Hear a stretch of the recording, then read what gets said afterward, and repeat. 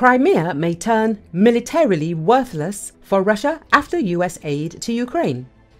Long range ATACMS provided by the US to Ukraine have the potential to make Crimea militarily worthless to Russia. Business Insider writes about this with reference to military analyst Philip Karber. Last week, the New York Times reported that the US had secretly shipped about 100 Army tactical missile systems known as ATACMS to Ukraine, which has reportedly already put them to use. The US has previously sent ATACMS with a shorter range, which puts higher value targets in Ukraine's crosshairs. This includes Crimea, occupied by Russia in 2014 and crucial to its military strategy in Ukraine. Philip Karber, a military analyst with expertise on Ukraine, told Radio Free Europe that the delivery of ATACMS is a big breakthrough.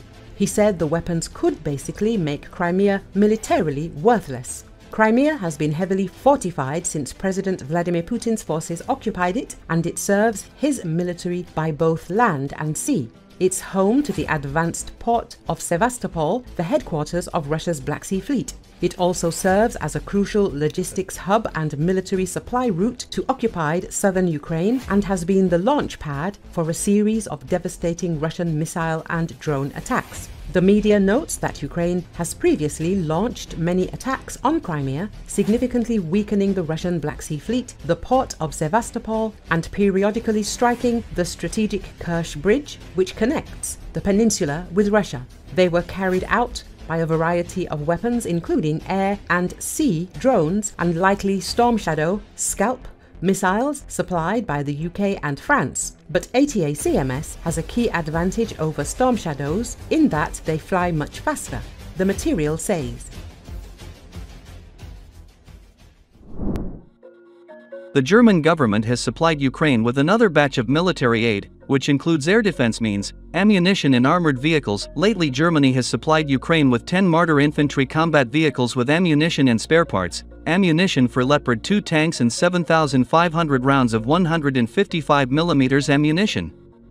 The armed forces of Ukraine also received a Skynex anti-aircraft rocket system with ammunition, almost 30,000 projectiles for Gepard self-propelled anti-aircraft systems, and unspecified quantity of missiles for the IRIS-T SLM air defense system and a TRML-4D aerial surveillance radar station. The list also includes a Beaver bridge-laying tank, a DSHS armored engineering vehicle, 9 minesweepers, self-protection systems for the AMPS helicopters, 60 outboard motors, 600 LED lamps and 6 tows for the transportation of M1070 tanks.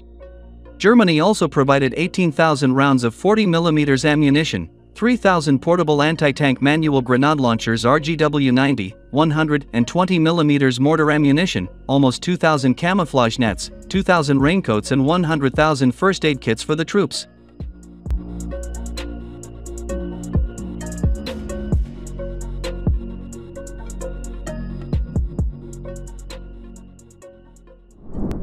Cuban mercenaries rebelled and killed Russian regiment commander. Cuban mercenaries fighting in the Pokrovsky direction in the Donetsk region killed their commander of the 428th Motorized Rifle Regiment for humiliation.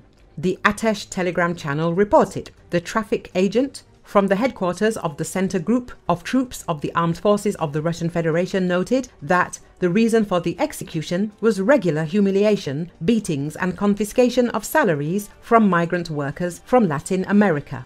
The direct executors of the execution have already been transferred to the Rostov region of the Russian Federation. The command of the regiment appealed to the General Staff with a request to replace foreign mercenaries with Russian soldiers. The mercenaries added that such situations arise in the enemy army from time to time, but they do not become publicly known. Across much of Cuba, the economy has ground to a standstill as the communist run island reels from a sharp drop in tourism, spiking inflation, and renewed US sanctions. In places like Santa Clara, a city of around 250,000 people with frequent hours long daily blackouts and more horses and carts on the road than cars, there was seemingly an unlimited number of disaffected men to recruit for months, hundreds of Cubans have quietly left the island to fight for Russia in its war in Ukraine, chasing promises of money and Russian citizenship from shadowy online recruiters.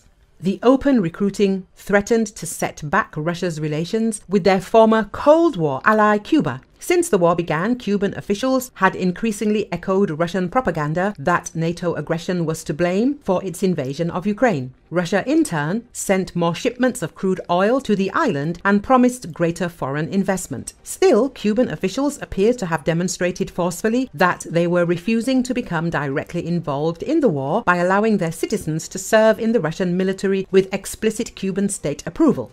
For those Cubans fighting for money on the other side of the world, their choices now seem to be exile in a war zone or prosecution and a lengthy jail sentence back home.